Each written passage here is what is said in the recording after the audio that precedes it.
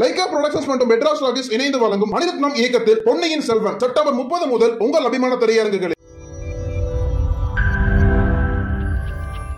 காட்டி கொடுத்த போலீஸ் கொலையான திமுக councillor.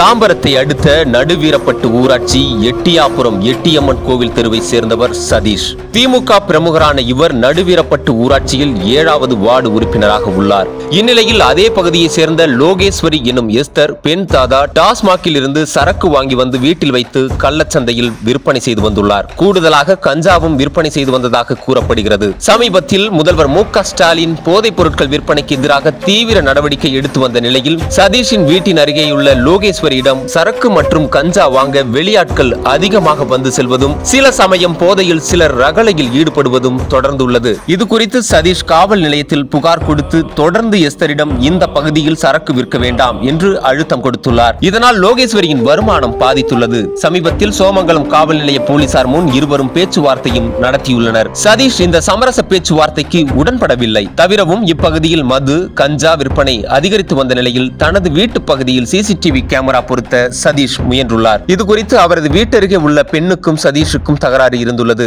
CCTV camera வைப்பதை விரும்பாத அந்த பெண் அதற்கு எதிர்ப்பு தெரிவித்துள்ளார். இதற்கிடையில் தான் தனது போதைப்பொருள் வியாபாரத்துக்கு இடைஞ்சலாக வந்த சதீஷை எஸ்தர் தீர்த்து கட்ட முடிவு செய்து இந்த விவகாரத்தை நாம் பேசி தீர்த்து கொள்ளலாம் என நைச்சியமாக பேசி செப்டம்பர் பத்தொன்பதாம் தேதி சதீஷை வீட்டிற்கு அழைத்துள்ளார். சதீஷ் சமரசத்துக்கு வராத பட்சத்தில் அவரை தீர்த்து கட்ட திட்டமிட்டு முன்கூட்டியே கூலிப்படையை சேர்ந்த நான்கு பேரையும் வரவழைத்து தன் வீட்டில் மறைந்திருக்க சொல்லியுள்ளார். எதிர்பார்த்தது போலவே சதீஷ் லோகேஸ்வரியின் திட்டத்துக்கு உடன்படாமல் போகவே சரமாரியாக தலையில் வெட்டி கேட்டிற்கு வெளியே கொண்டு வந்து போட்டுவிட்டு வீட்டை பூட்டிவிட்டு தலைமறைவாகிவிட்டார். இது குறித்து தகவல் இருந்து விரைந்து வந்த சோமங்கலம் காவல்துறையினர் பிரேதத்தை கைப்பற்றி உடற்கூறு ஆய்வுக்காக குரோம்பேட்டை அரசு மருத்துவமனைக்கு அனுப்பி வைத்தனர். இச்சம்பவம் குறித்து வழக்கு பதிவு செய்து விசாரித்து வருகின்றனர். இந்நிலையில் கொலை செய்த லோகேஸ்வரி ஏற்கனவே தனது கணவரை கொலை செய்துவிட்டு ஜெயிலுக்கு சென்று வந்தவர் என்பதும் விபச்சார தொழில் செய்து வந்ததும் தெரிய வந்துள்ளது. கொலை செய்வதற்கு முன் தனது மொபைல் போனில் பட்டா கத்தியுடன் டிக்டாக் வீடியோவில் நான் கத்திய வைப்பேன் கழுத்துல தவுளத்தா என் கதைக்கு வந்தா உன் கதை அவ்வளவுதான் என்று மிரட்டல் விடுத்து ஸ்டேட்டஸ் வைத்துள்ளார். இந்த ஸ்டேட்டஸ் வைத்த சற்று நேரத்தில் சதீஷ் கொலை அரங்கேறியுள்ளது என்பது குறிப்பிடத்தக்கது. மேலும் டிக்டாக்கில் போஸ்ட் கொடுத்த அதே கத்தியால் தான் சதீஷை கொடூரமாக கொலை செய்துள்ளார். இந்த கொலை சம்பவம் அப்பகுதியில் பெரும் பரபரப்பையும் சோகத்தையும் ஏற்படுத்தியுள்ளது.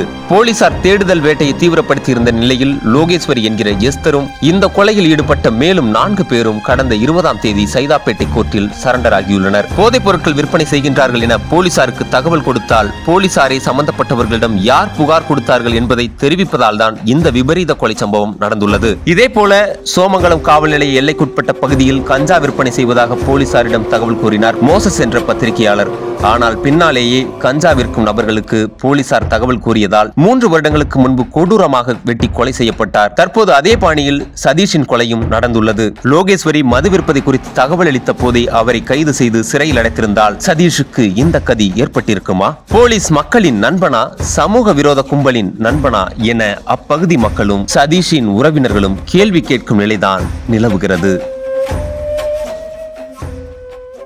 நக்கீரன் டிவிக்கு சப்ஸ்கிரைப் செய்யுங்கள்.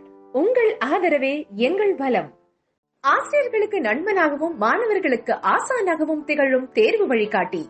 ஒவ்வொரு பாடத்திற்கும் அனுபவமிக்க ஆசிரியர்களின் துல்லியமான தெளிவான விடைகள். சிஎன்சி இருக்கு தேர்வு பயம் எதற்கு? இது தீரன் பப்ளிஷிங் ஹவுஸ் விற்பனை வெளியீடு.